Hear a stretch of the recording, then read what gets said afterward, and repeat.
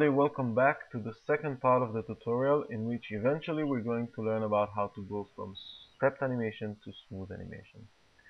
Uh, in order to understand the transition better, however, I feel that it's important for you to understand how I worked in stepped in the first place, and that's why we're having a few preliminary tutorials.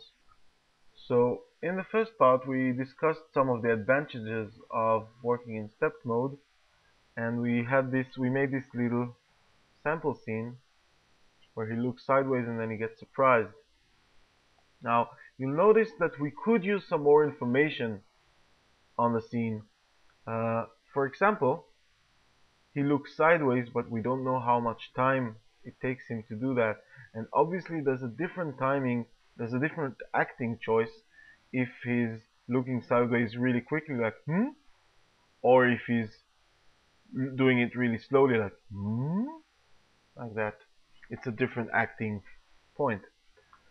Also we don't have any information about this transition and he probably anticipates but we don't exactly we don't have this information in the scene which means that when I show this scene to the to my director he doesn't really he knows what I'm going to do but he doesn't know much about how I'm going to animate it.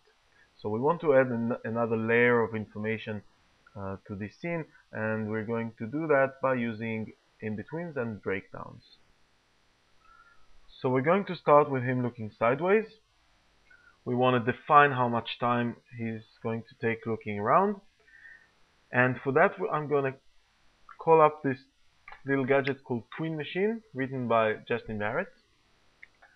And there's a number here which you can't see but it says 50 and if I go to any frame between the first one and frame 23 any frame I'm going to frame 18 and I'm pressing the button selecting the entire character character and pressing the button. What I'm getting is an in between and in the middle in between right in the middle because it says 50 that means 50% and what it means is that I can now define the timing by changing the position on the timeline of this in between. So here is looking way slower. This is a very slow look.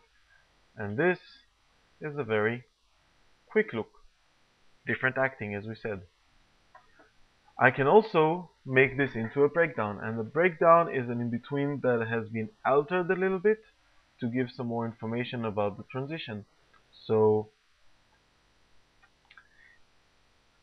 for example I can change I can modify this in between a little bit by making him blink and maybe also doing this and so doing something with the mouth.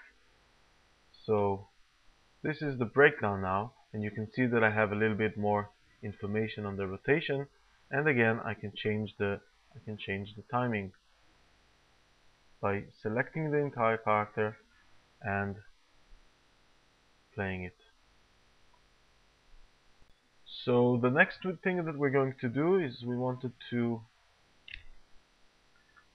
add some anticipation information between this key and that key and the way we're going to do this is we're going to use the Tween Machine again uh, but in a bit of a different way we're going to change the number here from 50 to 20 and that means a different in-between ratio so instead of being exactly in the middle between this drawing and that drawing, now when I use the number 20, it's going to be much closer to this first drawing than to that drawing. So I'm going to any frame here, I'm going to go to frame 42, I'm going to hit the tween Machine button,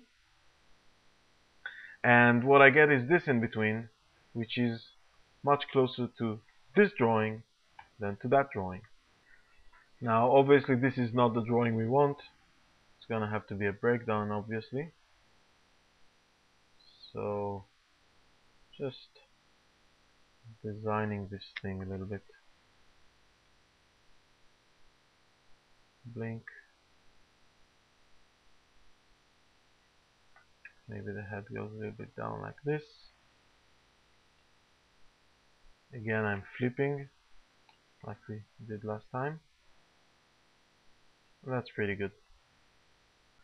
So let's now try uh, to add some information to the ending of this big movement here.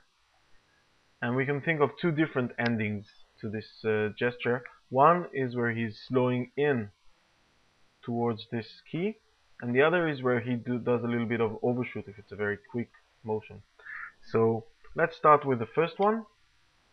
Uh, we select the entire character again, move this key a little bit over there. I'm going to stand exactly between these two drawings, the anticipation and the final pose, and I'm going to change the number to 80, which 80% in Tween Machine, which means much closer to the second drawing.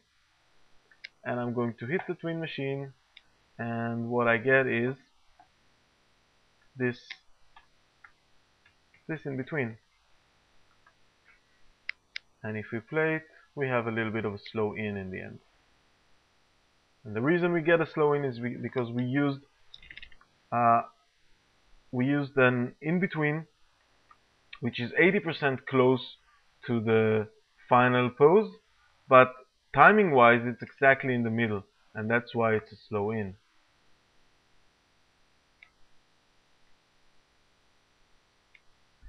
If I want to now uh, try and try and do the other thing, the overshoot, I'm gonna go to the same in between, this uh, this this 80% in between, and I'm gonna change the number. I'm standing on the same frame.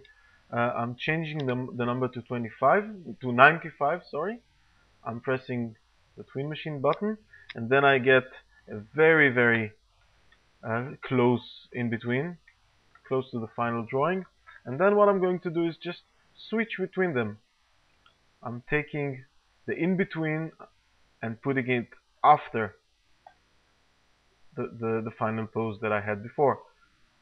So now when I play it, I hope you can see this, he's slightly pulling back after doing this very quick gesture, which gives me a nice springy sort of motion. So that concludes our tutorial for today. We were talking about how to add another layer of information to the scene still in step mode by using the tween machine for in-between and breakdowns.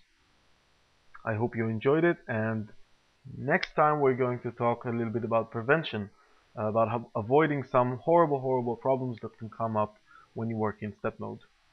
So have fun in the meanwhile and uh, thanks for watching.